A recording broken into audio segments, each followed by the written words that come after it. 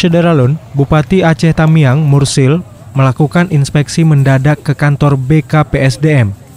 Sidak ini dilakukan Mursil untuk memastikan proses pendaftaran CPNS berlangsung lancar dan sesuai prosedur.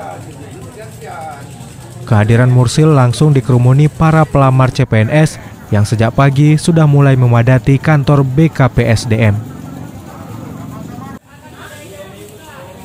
Para pelamar pun memanfaatkan momen itu untuk menyampaikan keluh kesah dan meminta proses pendaftaran dipercepat.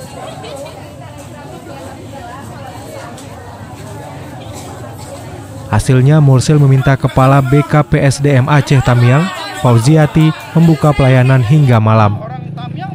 Namun menurut Fauziati, pelayanan hingga malam ini hanya berlaku bagi pelamar yang sudah mengantri sejak pagi atau siang. Dari Kuala Simpang, Rahmat Wiguna, Serambi On TV.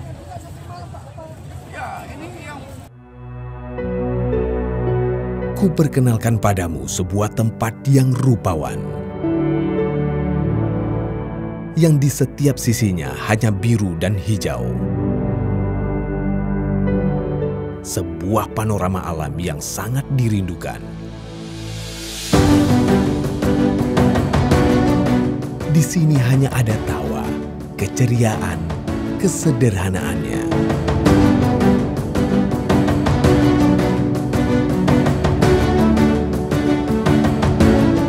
Pengalaman menikmati dua warna air laut atau menikmati tarian khas likok pulau yang mempesona.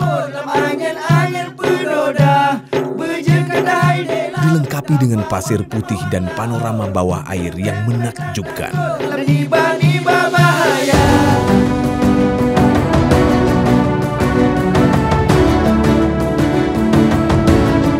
Yang akan membawamu ke sebuah pengalaman baru.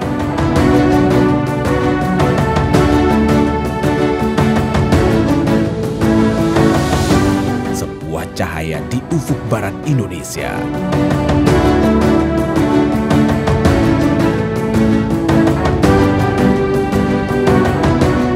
Mereka menyebutnya Pulau.